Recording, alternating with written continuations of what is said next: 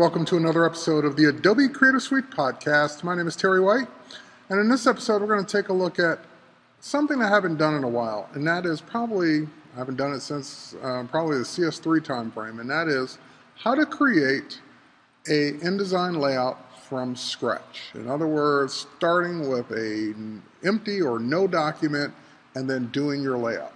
So here we go. Let's get started. So again, I have InDesign open are just no document, and we're going to start doing a two-page spread from scratch. So the first thing I'm going to do is go ahead and create a new document. I can do it from the File menu or Create New Document. And it comes up with my last used defaults. I'm just going to go ahead and set it back to the default defaults. and then we'll do facing pages, which means I'll have a left and right page in my spread. I'm going to have two pages in my spread. And last but not least, the only other thing I'm going to change here is that I want a bleed. In other words, I want a little bit of space around the outside of the page itself because I want images to actually go past the edge of the paper. So we're going to do that. We're going to do half inch margins all the way around. And again, two page spread, five uh, or facing pages. And let's go ahead and say OK. Now, when we say OK, it shows us page one. Where's page two? Page two is actually the next page down. So this creates our first problem is that I would love to have those two pages next to each other.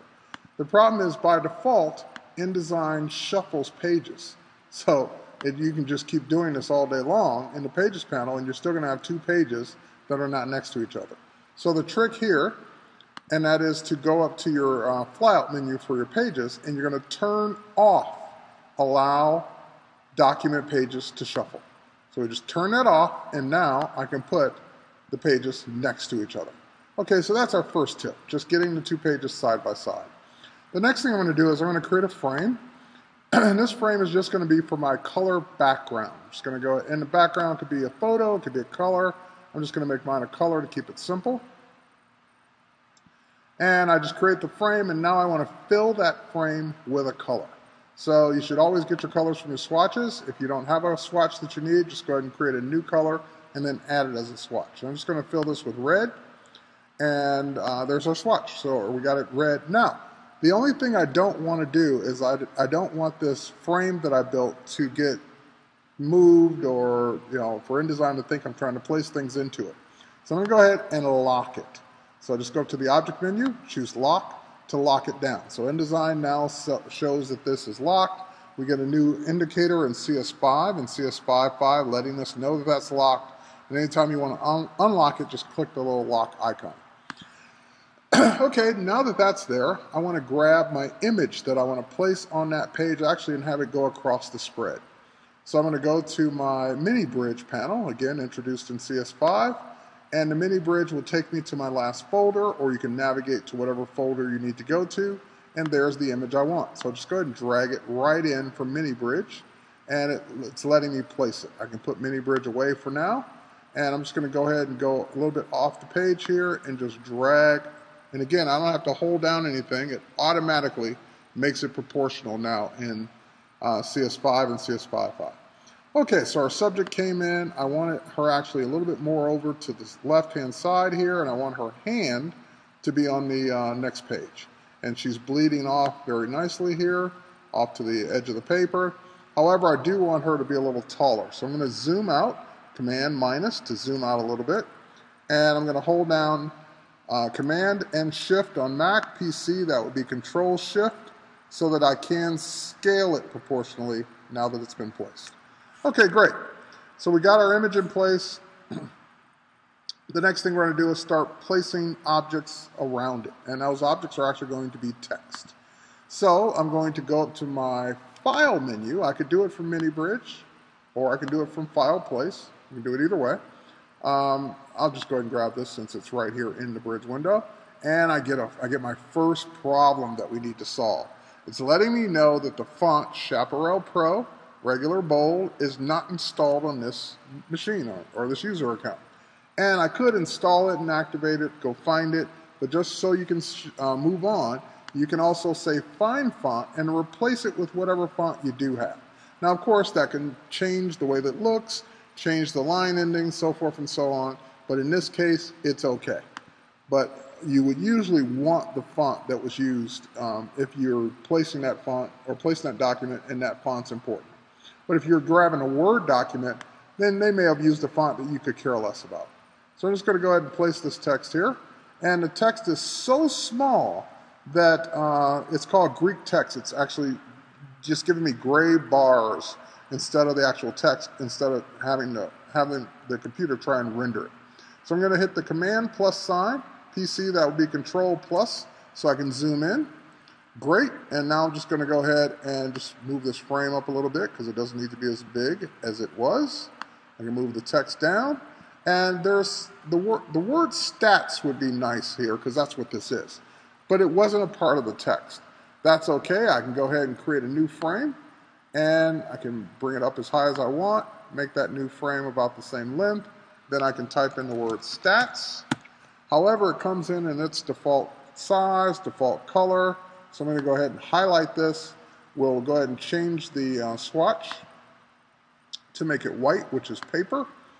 And uh, we'll go ahead and make it bigger. We can either do it from the menu. You can type in a size if you know the exact size, or you can do, my, do it my favorite way, which is visually, which on the Mac, that would be Command Shift, PC, that would be Control Shift, and the greater than symbol, which is right above your period. period. Okay, so now I can make that as big as I want. Less than will make it smaller. I got that in place. Everything looks great. All right, next, let's go ahead and move over now. We'll scroll over to the, to the right-hand side of the spread here. And there are a couple things I want to do here. First, I'm going to move her over just a little bit more. I want to put a big, giant uh, letter I here and I'm going to place some text next to it. The text does not have the letter I, it just starts off with thoughts, and I'm going to say, or I want this basically to say I thought, of course, part of the text. So let's go ahead and uh, create another frame. We'll just make a nice, giant, skinny frame here with our text tool or type tool, and we'll just type capital I. Now, same thing, I want that to be bigger, so I hit Command A to highlight it or drag across it to highlight it. And a PC, that'd be Control A and I don't know how big to make it. Uh, is it 24 points? Nope, not big enough. If it, is it 36 points or 48 points? Not big enough. So my favorite way, Command Shift Mac, PC Control Shift, and just hit, keep hitting the period, which is greater than, until I get it big enough. Now at some point, it's going to disappear because I made it too big to fit in that skinny frame. So just go uh, less than to bring it back down in size. So I've got my giant I. Actually, doesn't need to be that tall. And next thing I want to do is bring in the text that's going to go next to that. So we'll just go ahead and uh, grab our text from Mini Bridge here. There's the I thought text. We'll just drag it in. Oops, but I let go in that frame, so it replaced my image. Let's undo. Now let's try it one more time. There we go. And now we'll just go ahead and drag out a frame right about there. And there's our, our I thought text. Now, the problem is I don't want that text to cover the hand. I kind of would love it if it would wrap around the hand, which means I want to do a text wrap on my photo. Now, you can do a text wrap on a photo that's been cut out like this. As you notice, this photo has no background. That's why we can still see the red. That's why we can see it uh, kind of bleed off. So it came from Photoshop with the background already knocked out, but it doesn't know how to do a text wrap. So let's do that. Let's select the photo. With the photo selected, let's go to our text wrap panel, which will be under your view menu. And the text wrap I want is the irregular wrap. Now it's gonna, it's gonna cause a problem. So the minute I click it, everything disappears. Because it doesn't know that I want it to wrap around the photo itself. So it thinks I want it to wrap around everything, then this whole bounding box. So everything disappeared because it's trying to wrap. We're going to fix that. First thing we need to do is instead of saying same as clipping, which is the default, we're going to change it to, we can either do um, Photoshop path if there is one, or my alpha channel would work too. But in this case, I'm just going to have Photoshop detect the edges of the pixels that are there. So it did it, and it brought back everything I need, including uh, wrapping the text nicely around the hand. So uh, again, because I'm doing it around the photo, this is not interfering with the photo, the I's not interfering with the photo, just the text coming around the hand. So that worked out great. So we can put text wrap away. Last but not least, I have some text to go down here, and actually we can make this frame a little smaller. We don't need it to be as big as it is. Great. So we'll just go back to Mini Bridge one more time. And we have this uh, local fe feature text. We'll drag, oh, see, I did it again. I keep dragging in that frame. Now that's why we lock things. So if I lock that, it wouldn't let me do it. Let's undo. And yep, let's, we need to drag it in one more time, but just don't let go inside of the frame. Let go outside of the frame. Then you're good. Okay, so now, even though I let go outside of the frame, I can now move into the frame and drag out my new frame for my text. Now, I don't know how that text is going to look. Let's zoom in on it. Again, Command plus. And while this would be okay, I'd love for this text to be in two columns.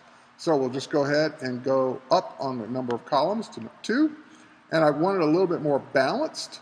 So we can do it a couple ways. We can make the frame shorter we can make the frame skinnier and that would kind of balance it out right about there.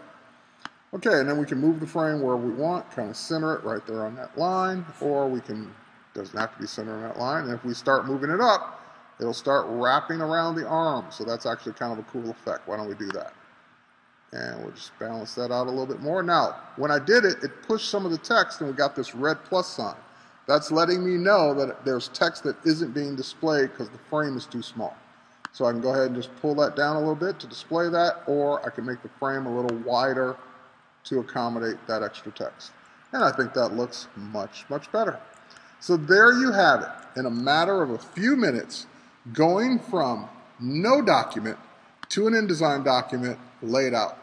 Now, if I want to kind of see it without these bounding boxes and blue lines, I can do the preview mode, which is down here on the toolbar, or just hit the letter W as long as you're not in the text tool. And this is the way our document would look printed. You can zoom in on it a little bit so we can read it, but it looks great, except the photo doesn't look all that great. It looks kind of jagged. And that's because by default, InDesign does a typical display. So if we highlight the uh, photo, we can go up to our object menu, display performance, high quality display, to kind of render that photo a little bit better. Now we're looking at it the way it would look printed. We click off the photo, the blue line goes away.